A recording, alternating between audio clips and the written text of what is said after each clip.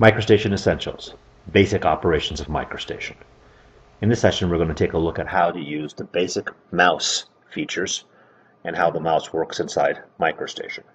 We'll also take a quick look at how views work and look at some of their basic features. We want to review how tools work inside MicroStation and take a look at some of the simple concepts behind snapping, the ability to find a precision point in space. The mouse is a very important part of MicroStation since it's how you basically communicate with the software. The mouse generally we'll be working with are three button mice. There's a left mouse button, a middle mouse button or a wheel, and a right mouse button. In fact, you can think of the left mouse button as the yes button. Yes, I want to pick a tool. Yes, I want to click on a menu item. And many other things like that. Yes, I want to place a point in space.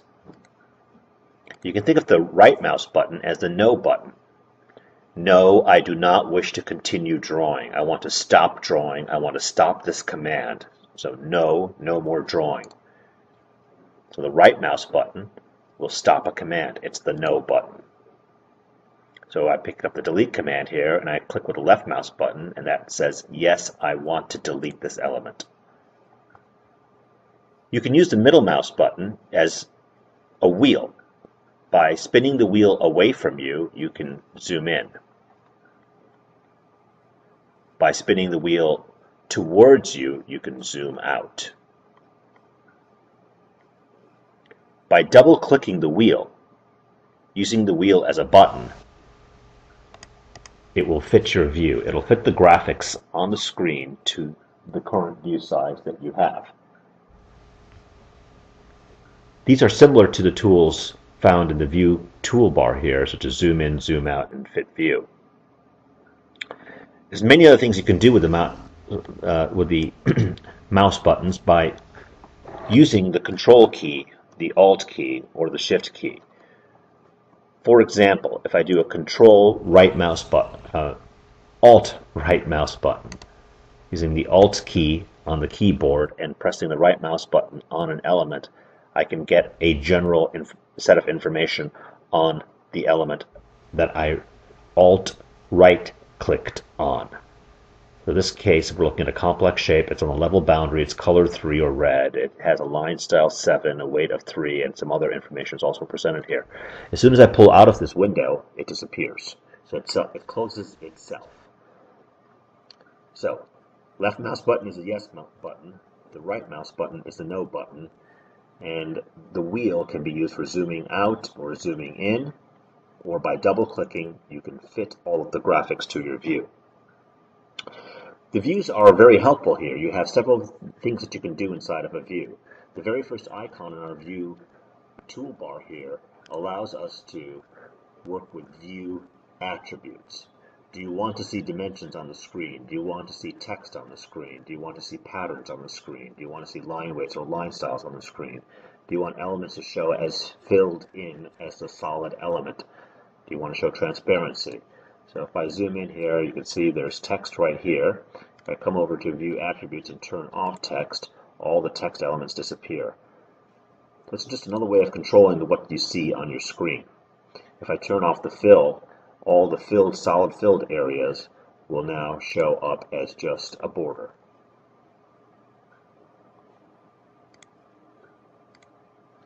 Many different view attributes are available. You can also access view attributes from settings and view attributes. Remember, Control B for better viewing. There's several other tools that uh, are helpful here. One is to refresh or update your view. This will zoom in one click at a time. This one will zoom out one click at a time. This is the window area command. And the window area command allows you to draw a window around an area of interest.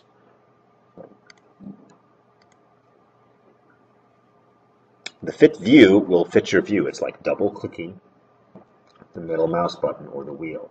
This will fit all of the graphics to the view. In 2D, you can rotate the view about the z-axis, so somewhat helpful, but usually. Not that important in 2D. Much more important in 3D. Here's your pan command. This allows you to pan back and forth. View undo or view previous will undo any view operation. So that undid the pan, that undid the rotate, and you can keep on going back through the different views that you had before. View next will take you forward through all of those views.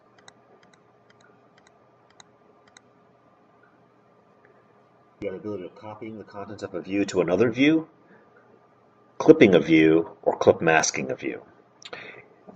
Down in the view control toolbar here are your view toggles, and the view toggles allow you to turn on additional views.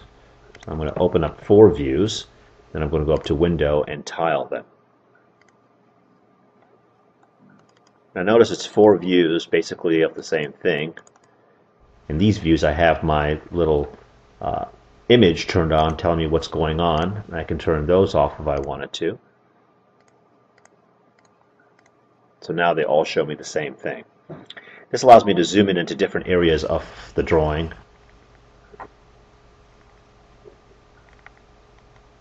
And what's interesting in MicroStation is you can draw from one view to another view. So let's choose a color here and make it really thick so that we can see it. But there you go. Now if I fit my view, you can see I drew that heavy, uh, heavy magenta line without having to really draw from all the way across the graphics. I drew from view to view. You can always maximize a view or minimize a view or close a view by directly clicking on the X. The same thing as turning the toggles on and off. So views are very powerful in MicroStation. They're completely independent of each other. They can show different things. One view may show fill items, another view may not. So I can have different view attributes in each view. So this one does not have the fill view attribute turned on. Now it is turned on.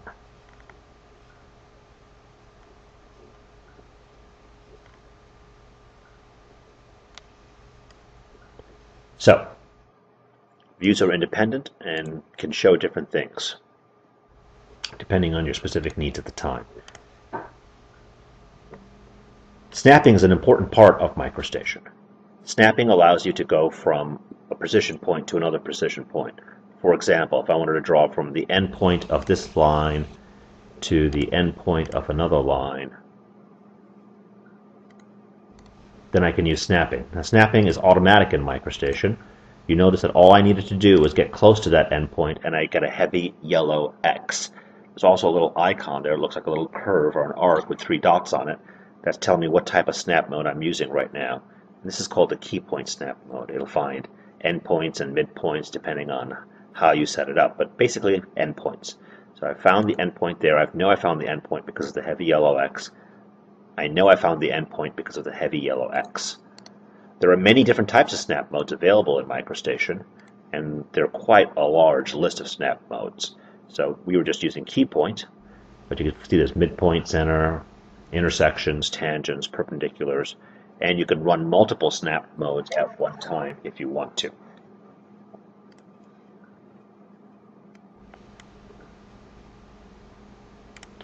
Snapping very helpful inside MicroStation. Works rather easy, rather quickly, without much trouble. So, to review, basic mouse operations. You want to use the mouse wheel to zoom in or zoom out. Double click to fit your view. Oh, here's a new one. Single click to pan. Single click the middle mouse button to pan. The left mouse button is the yes button. The right mouse button is the no or cancel button. Practice your views. Those are very important and are very helpful to work with so it's important that if you're a new MicroStation user that you spend at least two to three minutes at the beginning of every session practicing zooming in, zooming out, opening views, closing views.